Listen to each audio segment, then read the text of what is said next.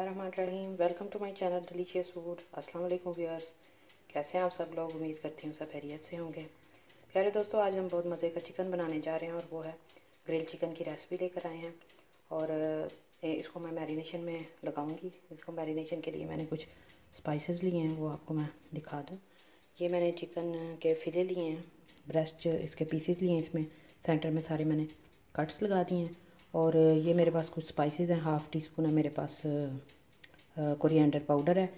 ये मेरे पास क्रश चिली फ्लेक्स हैं हाफ़ टी स्पून मेरे पास चिली पाउडर है half teaspoon garam masala है और ये है हाफ़ टी स्पून हल्दी हाफ़ टी स्पून है मेरे पास ये ब्लैक पेपर है और हाफ़ टी स्पून ही मेरे पास ज़ीरा पाउडर है।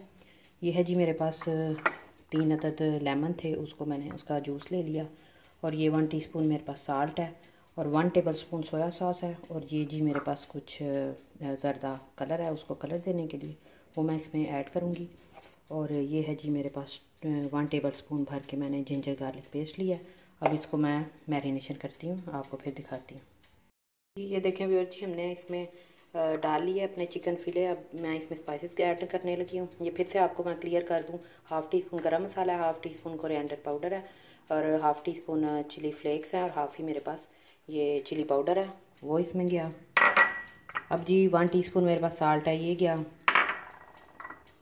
अब जी ये था मेरे पास ज़ीरा पाउडर हाफ़ और हाफ़ ही टी स्पून मेरे पास ब्लैक पेपर थी। साथ मैंने टिक टिक्का मसाला ऐड किया वो वन टीस्पून मैं ऐड करने लगी हूँ। ठीक है जी अब इसमें जी वन टेबल स्पून जो मैंने आपको बताया ये सोया सास की। और ये मेरे पास थी थ्री अदर जो लेमन जूस थे वो मैंने वो भी डाल दिए। और ये ज़रदा कलर था येलो बनाने के लिए। वो मैंने किया, अब इसको मैं मैरिनेट करके तो आपको शो करती हूँ। ये देखें जी व्यूअर्स हमने इसको अच्छे से चिकन को मैरिनेट कर लिया। तमाम स्पाइसेस मैंने इसमें ऐड कर लिए हैं। और अब इसको मैं ओवरनाइट इसको मैरिनेशन के लिए रख दूँगी। वैसे तो आप थ्री से फोर आवर्स भी इसको रख सकते हैं। लेकिन जो बेस्ट रिज़ल्ट जैसे आते हैं, वो ओवरनाइट रखने से ही आते हैं। चले मैं रख देती हूँ फिर आपसे, फिर मिलते हैं।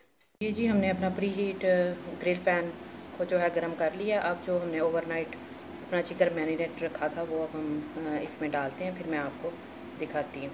ये देखें जी व्यर्स हमने अपने जो फोर पीसेस थे मेरे पास चिकन फिलेट के उन्हें मैरिनेशन से रखा था।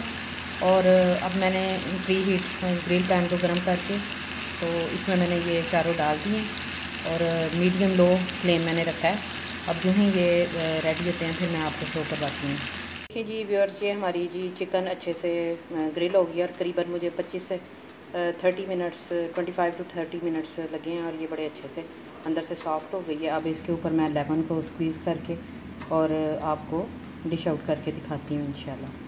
देखिए जी व्यवर्स हमारा ज़बरदस्त किस्म का और मज़ेदार किस्म का चिकन ग्रिल बन के बिल्कुल रेडी हो गया। अबाउट थर्टी मिनट्स हमारा हमने ग्रिल किया है उसको लो फ्लेम पर और ये अच्छे से बन के रेडी हो गया। और आप भी मेरी इस रेसिपी को ज़रूर ट्राई कीजिएगा और मुझे बताइएगा कि आपको ये मेरा चिकन कैसा लगा। और फिर इंशाल्लाह हम नेक्स्ट वीडियो में आपसे फिर शेयर करेंगे, तब तक के लिए अल्लाह हाफिज़।